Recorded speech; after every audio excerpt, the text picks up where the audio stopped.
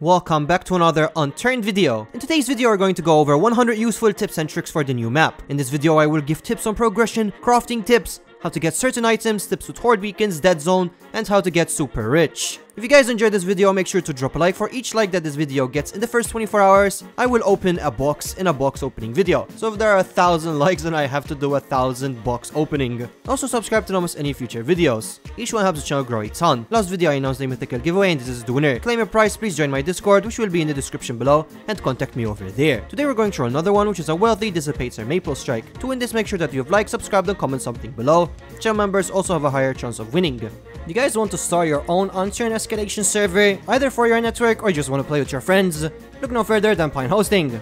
Pine Hosting makes setting up your server quite easily, they have very high performance servers, and the interface is actually very user friendly as well. When I started hosting my own servers, I literally had no idea how to do anything, but with Pine Hosting's navigation, I learned the basics in a very very short time. They have server locations scattered across all the continents, their pricing is very cheap as well. They also host a variety of games where you can buy Rust, Ark and Minecraft servers. Another feature that I am really a fan of is that you can install plugins and mods just by clicking once. If you already have a server with another provider, they will help you move your servers as well. If you're ready to start your own unturned servers, don't miss the link in the description below and make sure to use the code LDG for a huge discount of 30% and let's get straight into the video. When you salvage clothing, you will get fabric scrap from it. With this you can craft bandages, dressings, stack them or bedrolls. From fabric you can make fertilizer, sandbags and they are used for more high tier items such as gas mask filters, building manuals, base decorations, EOD clothing and much more. Salvaging items gives you metal scrap. Metal scrap can be used into metal ingots, which are very useful. They can be stacked into metal ingot bundle and they can be placed. These ingots are used for base parts, blast forges, claim beacons, generators, horde beacons, lockers, sentries, toolboxes, biohazard clothing, weapons, and a lot more. If you salvage weapons, you will get gun parts, either semi-automatic, automatic, or manual gun parts. These then can be used to craft more weapons, or if you salvage them even further, they will give you metal springs. Metal springs are used for various items, including blast forges, claim beacons, vault doors, metal doors, generators, lockers, and also weapons. You can unlock more crafting recipes if you get handbooks. There are various, some of them you craft them, some of them you find them, and some you can get from the safe zone. These include the hunting handbook, munitions handbook, police handbook, and the black book. The black book is used for items such as bouncing betties, explosive barrels, throwing knives, and wooden trapped roofs.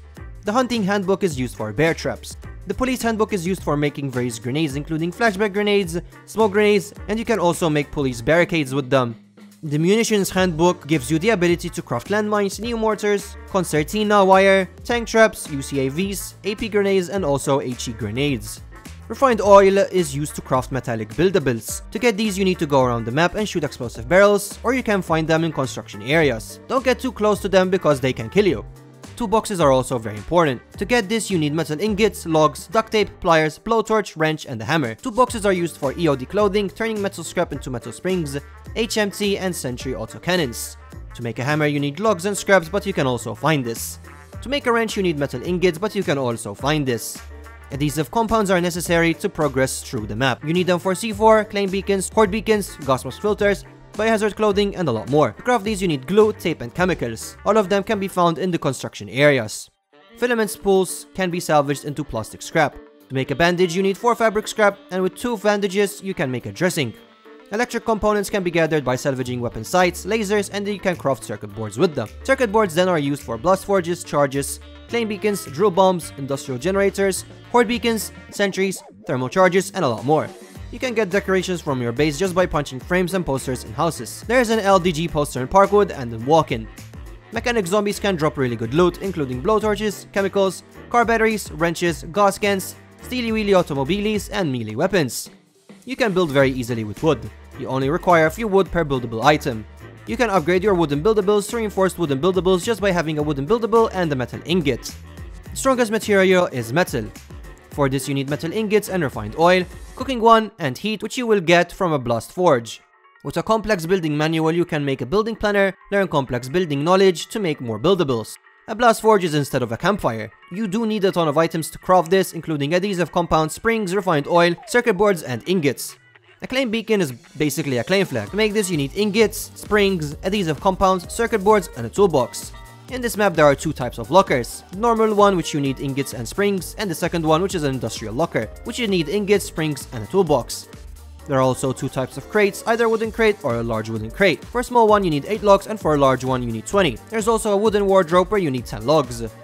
Wooden doors are locked for people not in your group. All you need to make one is some logs and metal scrap. For a metal door you need ingots and springs. As for a vault door you need ingots, springs and refined oil. You also need cooking one and a blast forge for heat. With two ingots you can make one-way glass.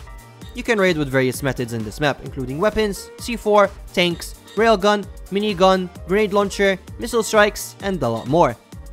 Airdrop can have a lot of these raiding methods, including C4, detonators, all types of grenades for the Hermes, and blank strike modules. Nitroglycerin is very important for crafting raiding items. These can be found in military locations and military zombies can also drop them. Drill bombs can be crafted by an impact grenade, which are commonly found in Red Grove Airfield, nitroglycerin, and you also need circuit boards. A blink strike module can be turned into a precision strike, a bomb strike, or a mortar strike. To use these you need an LTLM, which can be found from military locations, airdrops, or dead zones. There are two types of charges, which are explosive charge and a thermal charge. Explosive charges can be found in airdrops, horde beacons, or you can craft them. To craft them you need circuit boards, adhesive compounds, scrap plastic, and nitroglycerin. As for a thermal charge, you can only craft this, and to craft it, you need circuit board, adhesive compound, scrap, plastic, nitroglycerin, high-tech fuse, and a detonator. You don't need to detonate this since a thermal charge will also detonate by itself.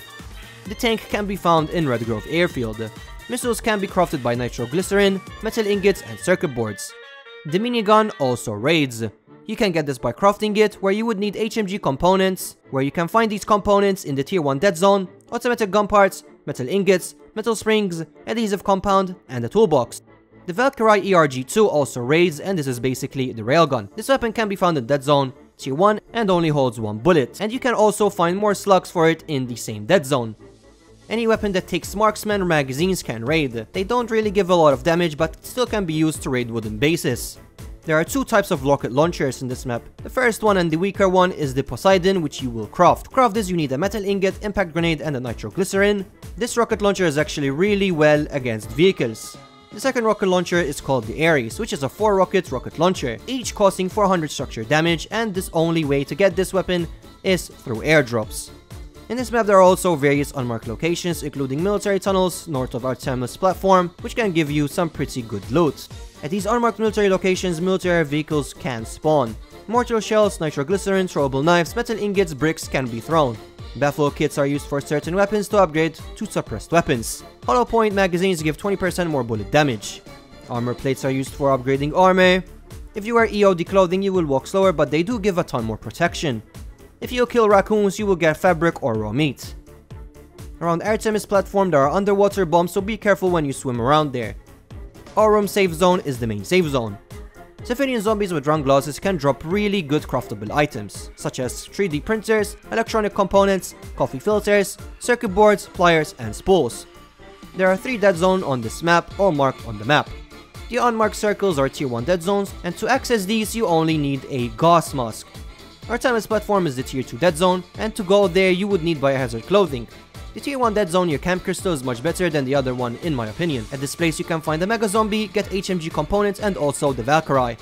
To craft the gas mask you need the gas mask filter, fabric and also plastic scrap. And in order to craft the gas mask filter you need a canteen, coffee filter, adhesive compounds, duct tape, fabric and plastic scrap. For biohazard clothing you need firefighter clothing, high-tech fuses, metal ingots and adhesive compounds. In the dead zones it is much easier to find airdrop grenades. Airdrop grenades will drop an airdrop wherever you want, and it can have all sorts of weapons, C4, detonators, blank strike modules, LTLMs, night visions, attachments, adhesive compounds, and a lot more. From all the dead zones you can get EOD clothing, attachments, refined oil, LE specs, baffle kits, Nocts, assets, Uzis, M8s, compacts, RSS-03s, sabot slugs, and a lot more.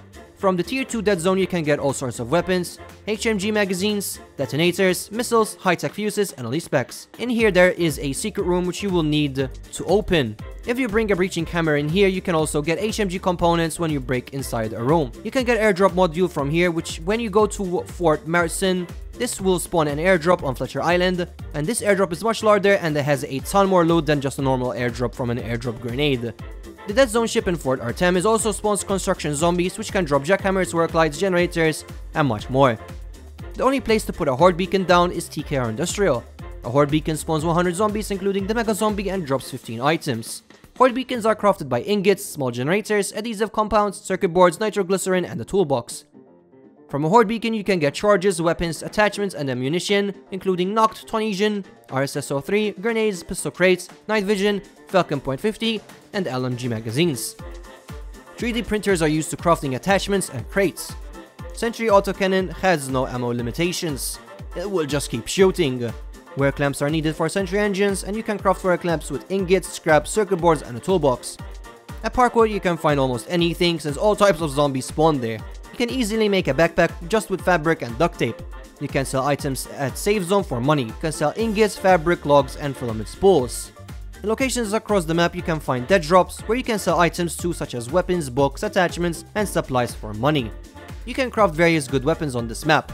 One of them is the crown, which is one of my favorite weapons on this map. This weapon only holds one bullet though, but it's a one-shot headshot weapon. To craft this, you need metal scrap, metal ingot, manual gun parts, wood log, and nitroglycerin, making it very easy to make.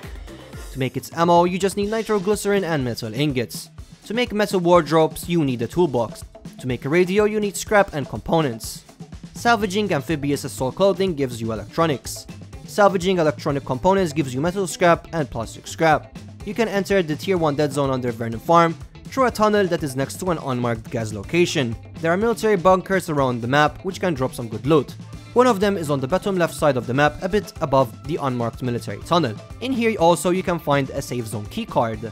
There's also another bunker under TKR Industrial. Here you can find multiple military items but if you jump down at the very bottom you will get stuck or you will just die.